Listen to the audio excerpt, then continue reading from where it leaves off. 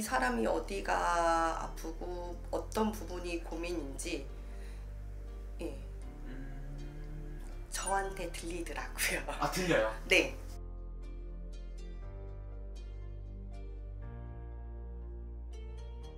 안녕하십니까? 안녕하세요. 네 어디에 계신 누구시죠?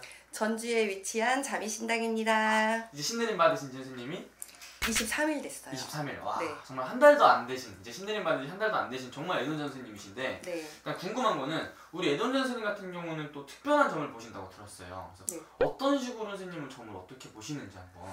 아, 저는 음. 그 생년월일 사주를 안 넣고 그냥 영장 심점으로 보고 있어요.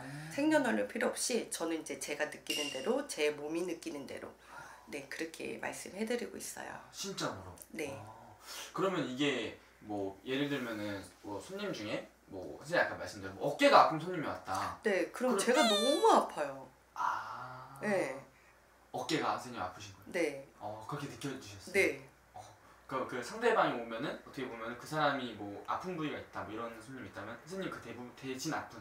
네, 네 같이 느끼더라고 그 고통이 저한테 같이 와요. 음. 근데 정말 신기하게도 손님이 안 아프잖아요. 그럼 저도 안 아파요. 음, 네. 신기하네요. 네. 그러면 뭐 고민거리가 예를 들면은 뭐 사랑 때문에 왔다. 그런 손님은 선생님 어떤 식으로 느껴지세요? 얼굴에 쌓이더라고요. 사랑에 아, 오신 네. 분들은 네. 어. 정확히 말하면 사람이라고 해야겠죠. 남자 관계나 여자 관계, 예, 음. 그거 그런 것 때문에 왔구나 그런 게 느껴지긴 하더라고요. 어, 신기하네요.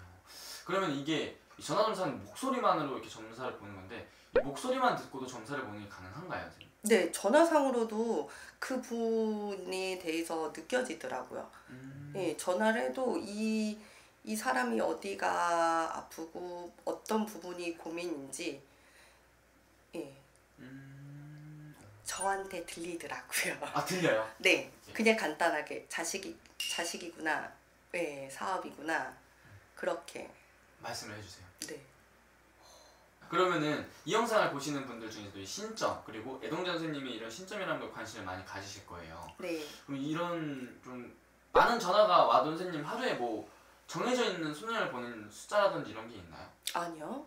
저는? 예, 제가 필요하시고 언제든지 전화 주시면 제가 상담해드리고 해야 되는 게 제가 이 길을 가게 된 이유가 아닌가 싶어요. 음. 그러려고 제가 이렇게 모든 분들한테 어, 마음적이듯 응? 그런 거를 베푸기 위해서 이 길을 선택한 거라고 생각을 해요. 저는 음. 이 길을 제가 23일밖에 안 됐지만 음. 저도 제 마음을 치유하고 있으니까요. 음. 네.